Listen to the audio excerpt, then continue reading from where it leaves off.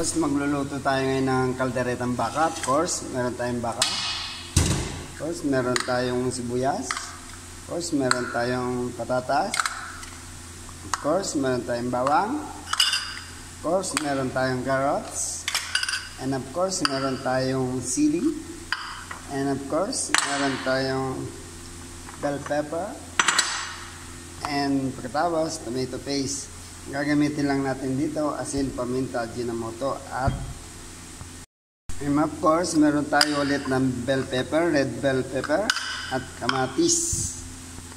Papray lang natin ng konti yung ating bell pepper.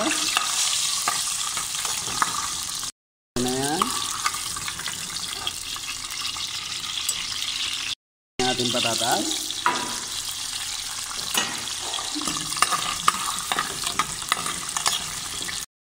Fry na siya. Tanggalin na natin. Ating patat. Ano? Uh, carrot. Carrot, sorry. Na rin. Tanggalin na rin natin yung ating carrots. Okay. Uh, bawasan lang natin ng konting mantika. Dito na rin tayo magigisa. na natin yung ating bawang. natin yung ating sibuyas.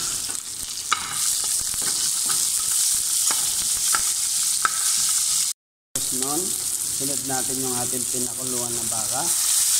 At ilan na rin ang ating pangsasabaw, yung pinakuluan na baka. Bali, ano ho? Ang ating baka.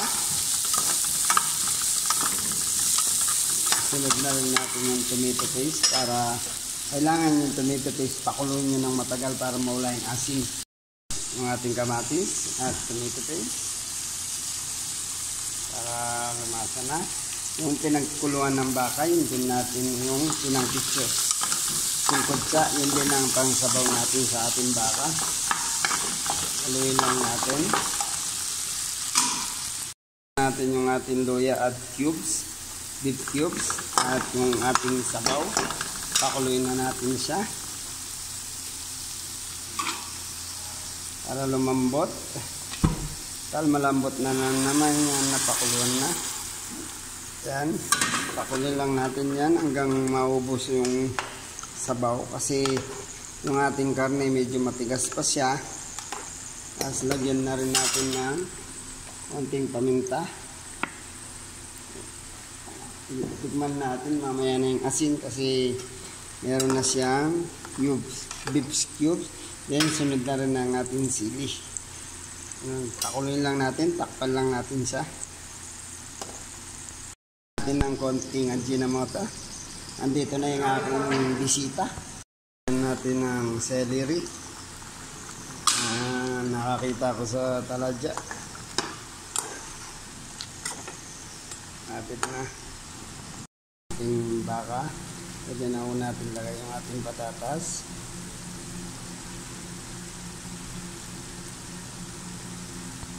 Luwin. Ayan.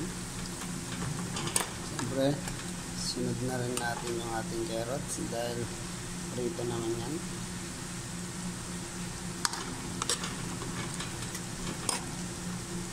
Lambot na po yung ating baka.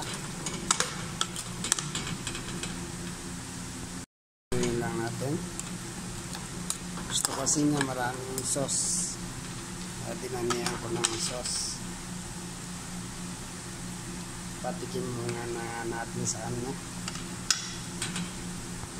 Din ang ating bell pepper. Saan natin naluin. Walang green. Wala akong bell pepper na green.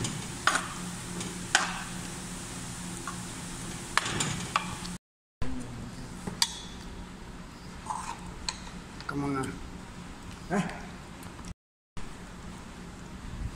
yan po ang kaldareta tapos na po.